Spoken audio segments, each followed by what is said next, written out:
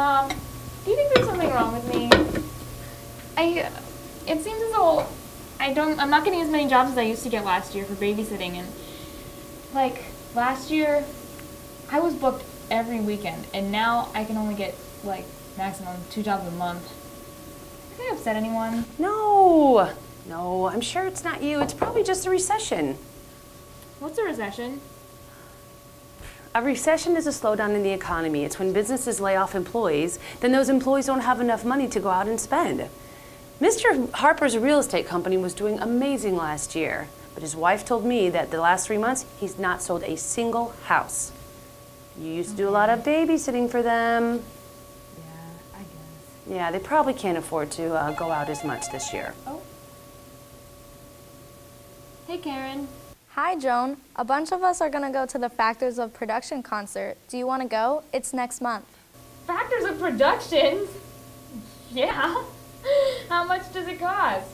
Well, we want to get really good seats, so it's going to be about a $100. A hundred dollars?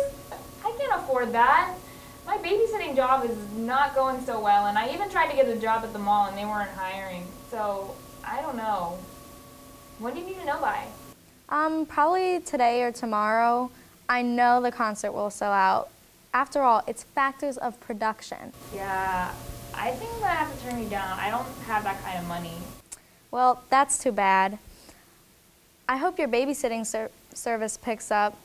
I'm going to go call Molly and see if she'll go with me. Okay, uh, thanks for inviting me. See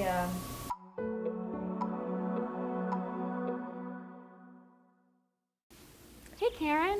Hey, Joan. Uh, I heard that Northbrook High is having a dance this Friday. Do you want to go? Tom and I will be there, and I know that George will want to go with you. Yeah, I could wear my new outfit. What night is it? Friday. No way. I have to babysit for the Harpers on Friday. Again, it seems that every time something fun comes up, you have to babysit. I know. Six months ago, I had no work, and now I'm swamped with work. Last weekend, I had five jobs. Mom says the recession is over, and now the economy's picking up. And I know that Mr. Harper's real estate business is doing a lot better. And so now I have no time to do what I want to do, but I have the money, whereas before, I had no money, but I had time. So is there maybe like a weekend, four months from now, that we could set aside to do something together? Yeah, okay. See you later. Bye, Karen. Bye. Joan's business was directly affected by a business cycle. All economies experience periods of prosperity and periods of decline, or business cycles. Here we see a graph of a business cycle. Joan was frustrated because she was not getting the same amount of work she had the prior year. The economy was in a recession.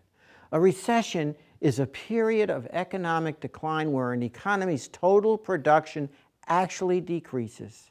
It appears on the graph as this downward sloping area of the business cycle curve.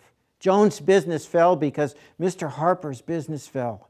Mr. Harper's business was less because his potential clients were also impacted by a lower income.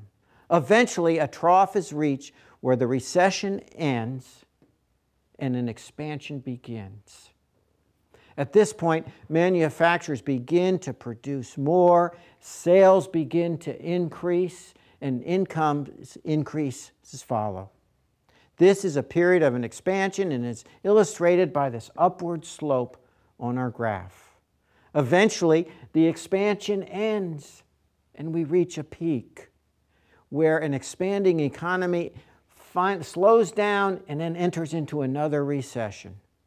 In time, the cycle will repeat itself. Business cycles vary in length, the time period between here. They vary in amplitude in terms of where the peaks are. And finally, they're also very, very hard to predict. Economic and political policies are debated on how different policies affect business cycles. To learn more about this lesson and other important economic concepts, please visit our website at higherrockeducation.com. Thank you.